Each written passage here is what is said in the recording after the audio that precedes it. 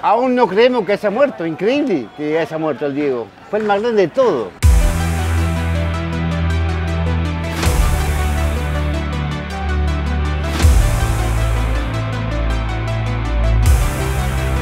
No le cabía uno con nadie, Diego. Es el mejor jugador de la historia del fútbol mundial. No va a haber nadie en el mundo que sea como él. Perché se ami il calcio, tu ami Diego Armando Maradona. ¿Por qué es el deportista que ha sido merecedor por lejos de tantas reformulaciones de sí mismo en torno al arte? No hay otro, no existe.